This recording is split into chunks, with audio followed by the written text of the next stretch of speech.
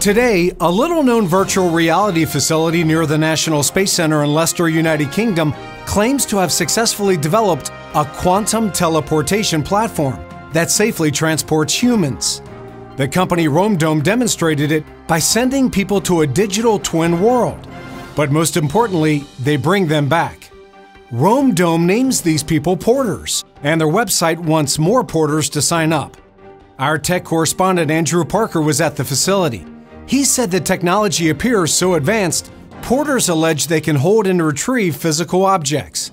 They claim to feel temperature changes, wind, and even smell. Allison, one of the first porters to safely arrive back in Leicester, said, It feels real. Andrew noted she struggled to find words to explain her experience, but spoke of a gray world, putting her hands into a dome and then materializing in front of a temple like structure. He asked what she did there, but she declined to comment. Strangely, the British government calls RoamDome's breakthrough an existential risk and demanded MI6 seize their hardware.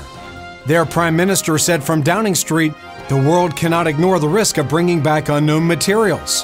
What if something contains an unknown virus and it gets out?